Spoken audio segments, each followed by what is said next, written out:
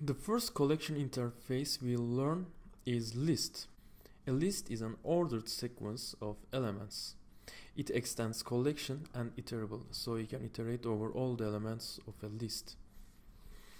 The imported methods are add to put a new item into the list and it has two overloaded versions the first one with index and the second is without index if you don't use an index value the element will be appended to the very end of the list. But if you provide an index you may directly put into this index.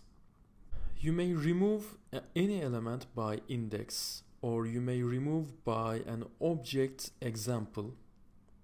You may replace any elements on any index and you may get a random element by index and you may search for an object with index of methods. For this you need to override the equals method of the object because this method tries to invoke equals method on all of the instances inside the list and if equals method returns true that means uh, the current item is the item that we are searching for so it will return the index of this item again last index of returns the last occurrence of this item okay and you may iterate over this list by using list iterator or iterator interfaces inside the list object. We will talk about them later on. Now let's return back to Eclipse and inside the inheritance package I will create an array list example class to test array list. Okay I am putting a main method inside it. How to create an array list? We are creating a reference of array list first and we are providing the type that we will store inside this array list here. So we may say integer here for instance and you may provide only the class types here not the primitive types. Let's say integer list we are creating and new array list. As you can see we don't provide any size any length for this array list uh, because the advantage of array lists over arrays is that uh, you don't have to deal with the size of the array. You may add an item into this array list whenever you want and you may remove an item whenever you want. As you know when you are using arrays if you exceed the initial size of the array you need to create another array and move all of the items into this new array and append the latest item you want to add to this array. And this is a manual process and you have to deal with the size the memory uh, model of the java. But if you use arrays all the memory model will be managed by JVM automatically and this moving process and copying process will be done by JVM if you use array lists. So here I'm providing the integer again and let's put some integers into this integer list by add method. Okay, I'm putting 5 here and then I'm putting 1 and then minus 6 okay? As you can see I did not deal with the sizes. I just add some items and JVM dealt with the size the memory for me. Let me show you how to get the size of an array list I just say integer list dot size to get the size of the list. Let's run as let's run as Java application. As you can see, the size is 3. So what happens if I try to access an item by index? Let's say I'm trying to access this index. I will use get method if I use get method, it asks for an index and the index is 2 because as inside the arrays the indexes start from 0 inside the array list. Okay? So get 2 will return me minus 6 let me write it. Third item is plus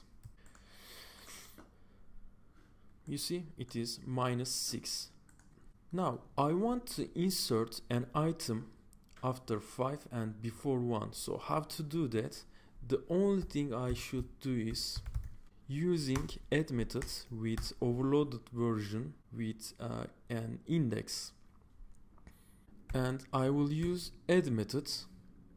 As you can see index is the first parameter and the second is an object the first parameter is the index. Since I want to put this item after 5 and before 1 the index is 0 1 so the index is 1 we will insert an item to the first index.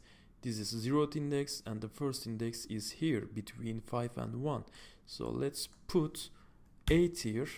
Method is add and I will insert 8 here. So let's see the size now integer list dot size size is 4 now because we inserted a new item. So let's see the item with index 2 again.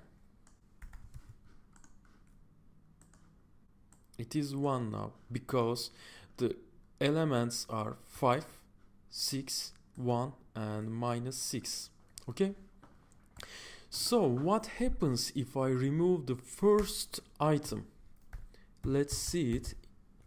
Integer list dot remove 0 that say remove the item at index 0 as you know if you remove an item from an array this item at that index will be null but if you remove an item from an array list all the items after this index will be shifted to left.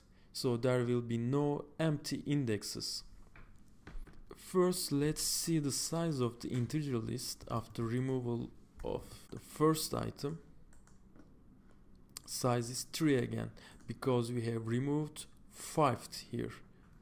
So let's get the first item now. So zeroth item after removal.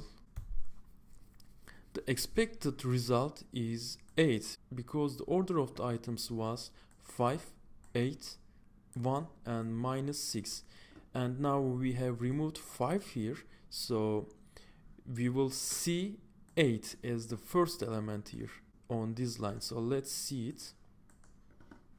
As you can see it is 6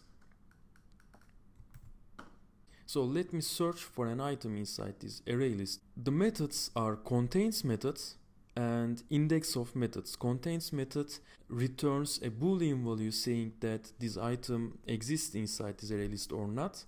And index of method returns the index of the searched item. Let's first use the index of methods.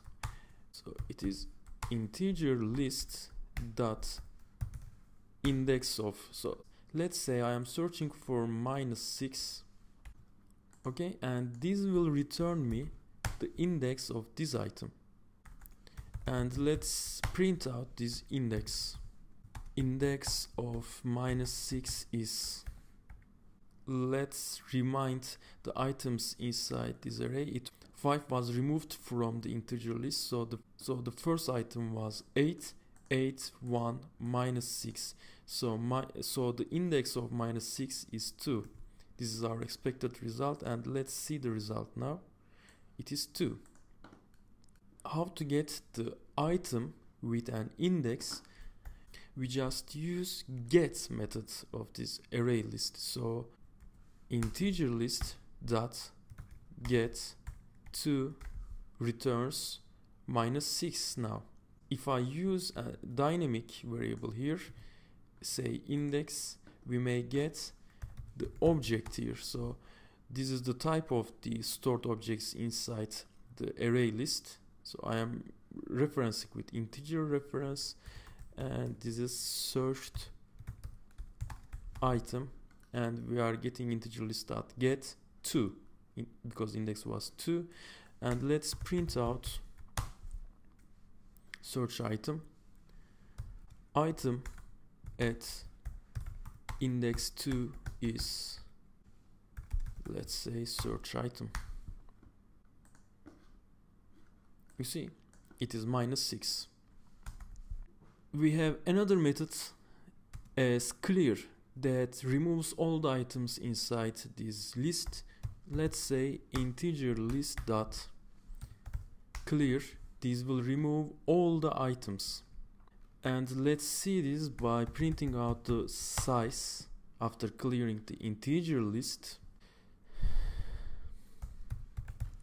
Integer list dot size. Let me label it size of the list after clearing. Let's see the result. It is zero.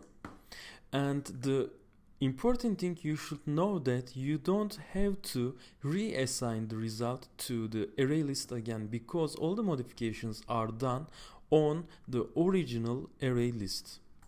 So you don't have to reassign this. I have removed here and I did not assign the result to anywhere else because these methods does not return array list and they do the modifications on the original array list.